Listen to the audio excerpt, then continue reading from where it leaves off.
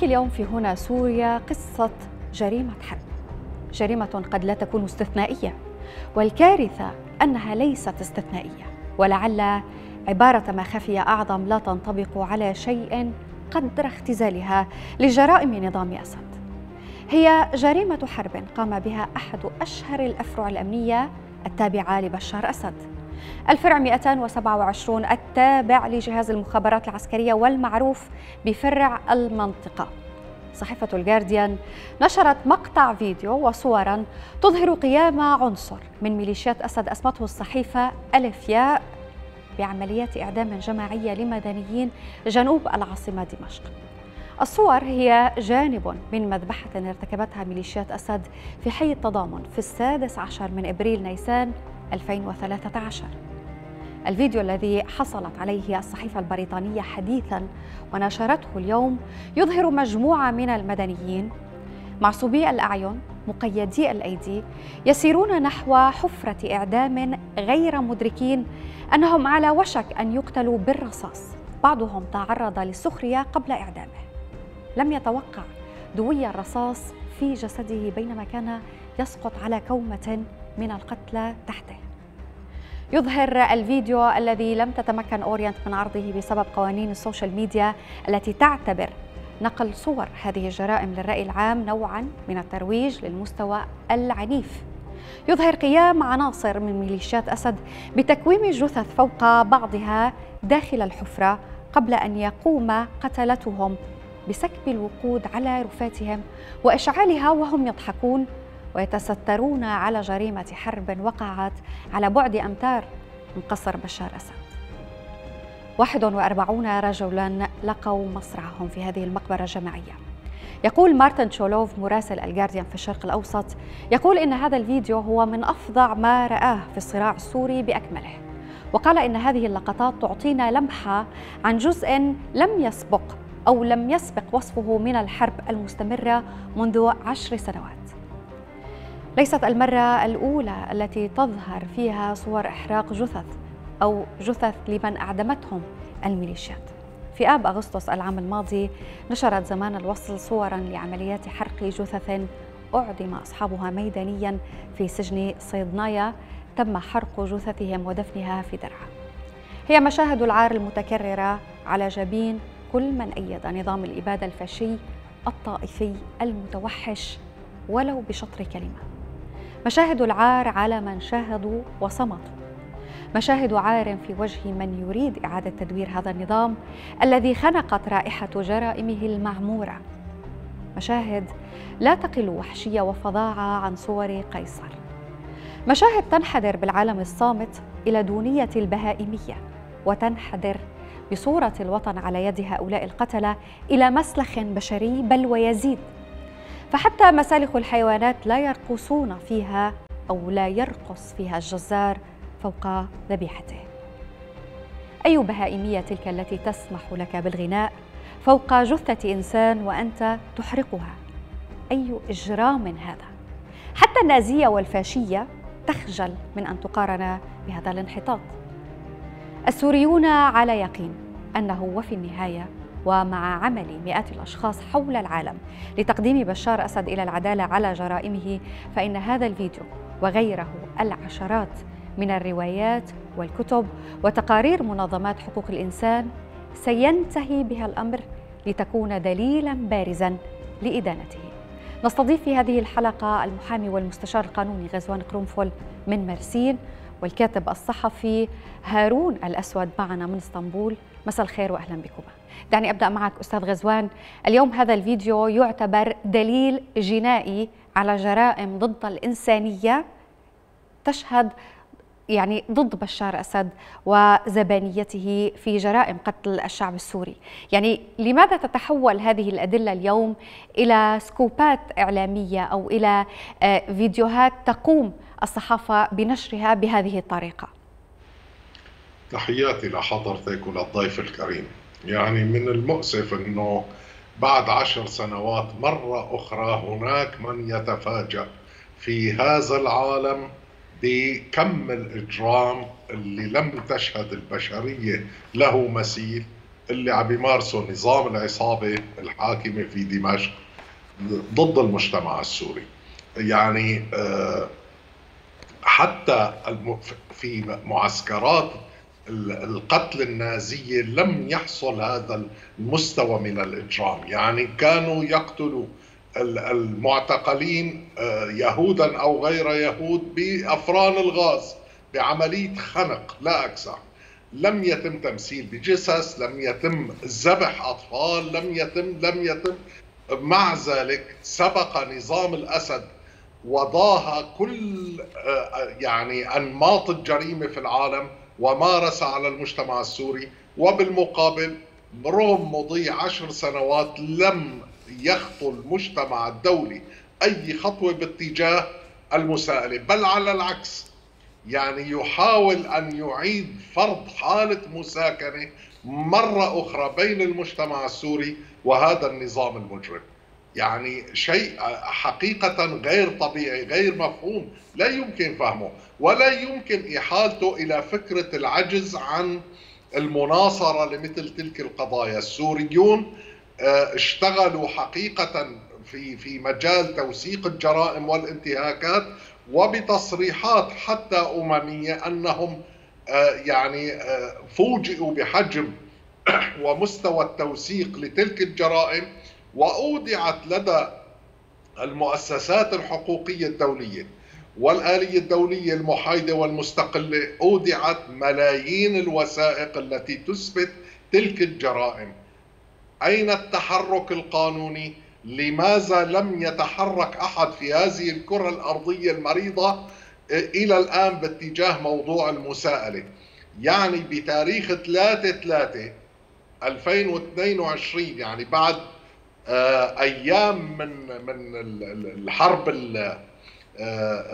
الأوكرانية. المدعي العام يعني في المحكمة الجنائية الدولية بيعلن عن فتح تحقيق بشأن الجرائم في أوكرانيا.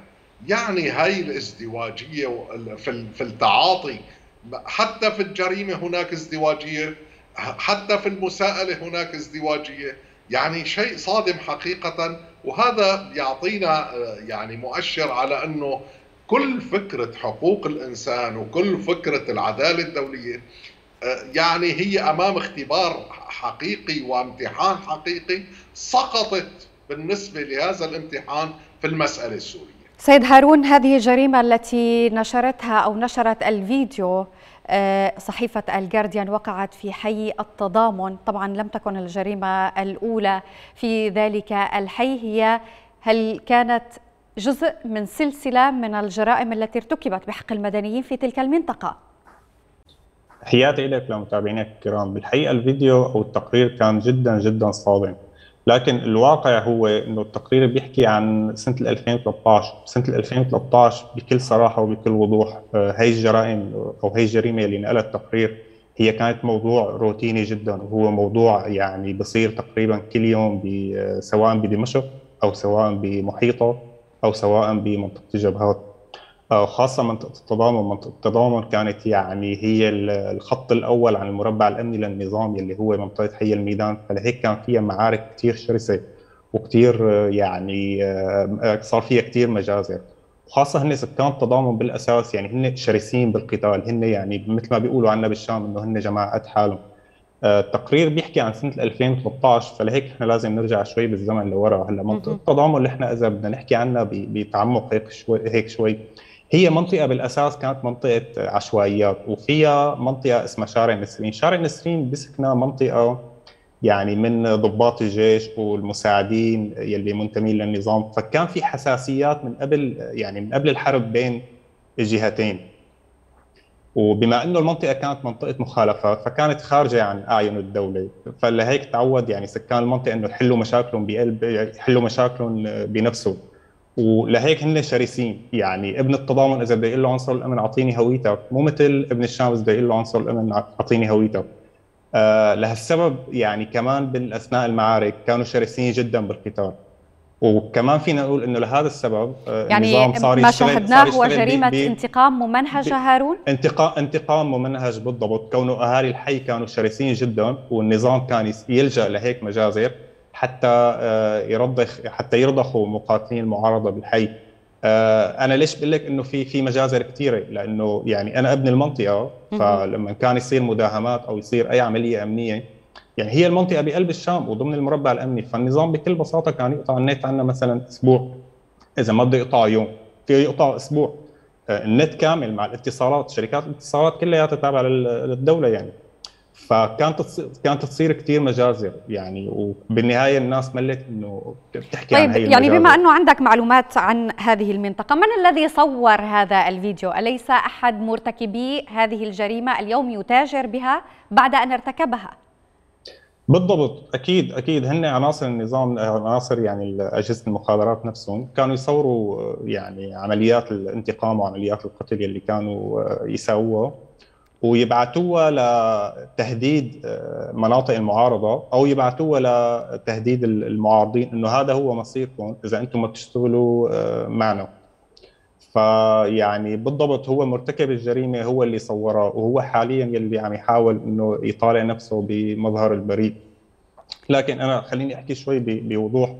آه، الفترة اللي صارت فيها العملية الجريمة هي فترة حرب كانت بسنه 2013 هلا بالوقت الحالي السلطة يعني فينا نقول تغيرت بالكامل تغيرت ما بنقول للأفضل تغيرت العقلية تبعها شوي. كانت بفترة حرب هلا عم تحاول هي تبني حالها بفترة السلم. فهدول الضباط وهدول الأشخاص اللي عملوا هي الجرائم آه، يعني النظام رح يصفيهم هن رح يتصفوا تلقائيا بحد ذاتهم. فأنا صراحة بنصحهم ولو كان هذا الشيء غريب شوي إنه يسلموا حالهم أو يحاولوا يتواصلوا مع المحامين برات البلد حتى يسلموا حالهم للمحاكم الأوروبية. كون المحاكم الأوروبية ما رح تحاسبهم بنفس الطريقة يلي السلطات السورية رح تحاسبهم فيها، السلطات السورية رح تصفيهم، رح تقتلهم، رح تخلص منهم لأنه هن دليل آه، قوي على جرائمها.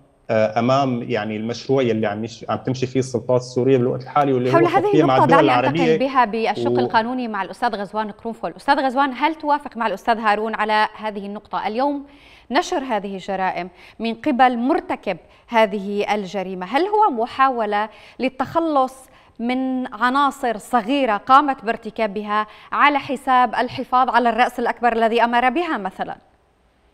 تماما. يعني ربما هلأ بداية أنا أكيد بأيد الدعوة اللي وجهها الأستاذ الكريم يعني لهؤلاء الضباط ب آه، إنه إذا كان لديهم فرصة أن يلجأوا لوضع نفسهم أمام المساءلة والمحاسبة في المحاكم الأوروبية فليكن لأنه سيكون ذلك يعني اولا سينال محاكمة عادلة وثانيا سيكون ذلك أفضل بكثير من المصير الذي ينتظره. هذا بالقطع. الناحية الثانية أنا أفترض إنه ربما إنه بعض الأشخاص ممن ارتكبوا الجرائم النظام غير راض عن وجودهم خارج نطاق السلطان وسيطرته.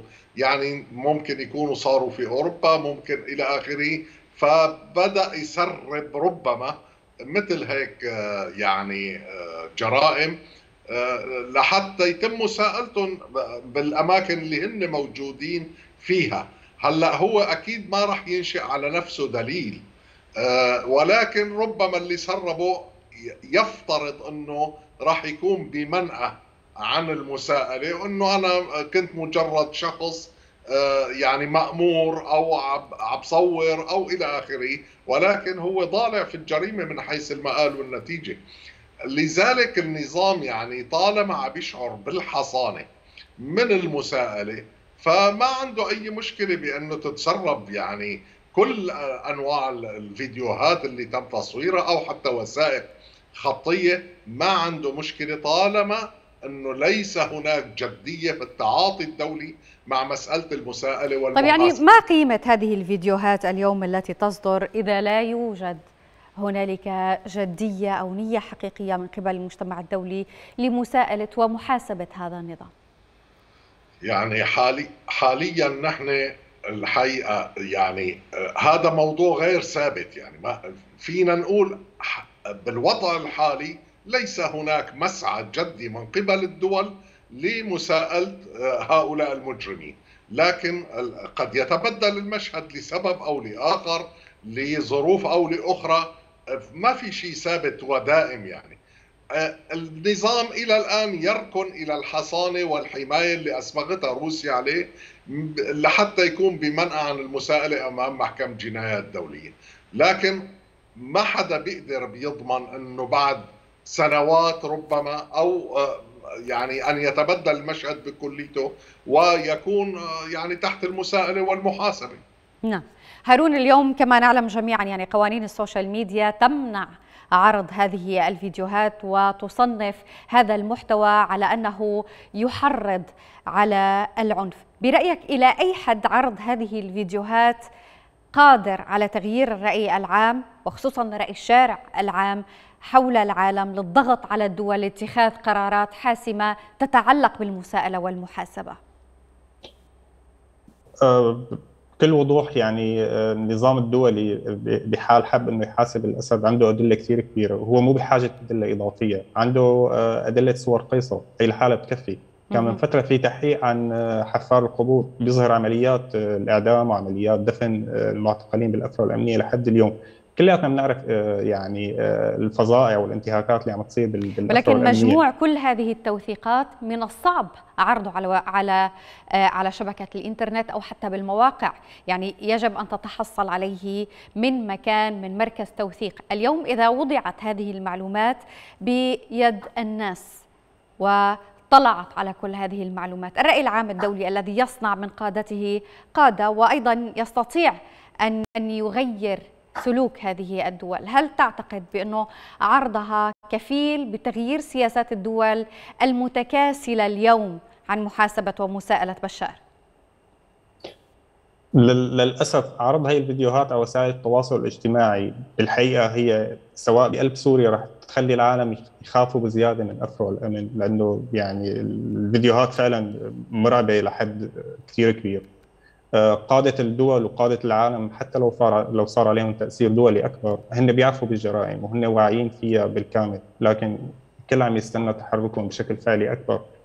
العالم اللي بقلب سوريا هي اللي برات سوريا هي عم تعمل اللي عليها سواء نشطاء سواء يعني آه، الصحفيين عم تحاول تكتب وعم تحاول تفضح هي الجرائم.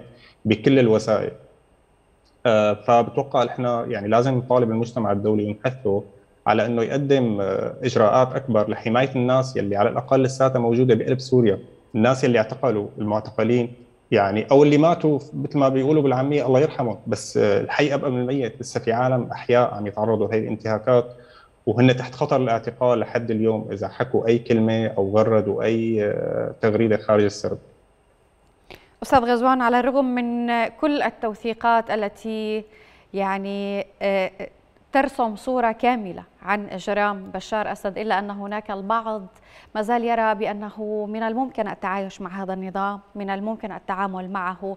هل فعلا اليوم من الممكن التعايش مع كل هذه الجرائم المرتكبة؟ ما هي الصيغة المستقبلية التي يجب علينا كسوريين إيجادها للتعامل مع بعضنا البعض أمام هذه الجرائم التي ارتكبت من قبل؟ يعني مجموعة تتبع لميليشيات هذه النظام بحق مدنيين الحقيقة عندي تعليق سريع على آه، النقطة اللي كان عم يحكي فيها الصديق نعم، العزيز. نعم. يعني آه نحن كسوريين لدينا قوة ناعمة حقيقية متواجدة اليوم في مراكز أو في دول صناعة القرار على المستوى الدولي سواء في الولايات المتحدة وكندا أو في أوروبا.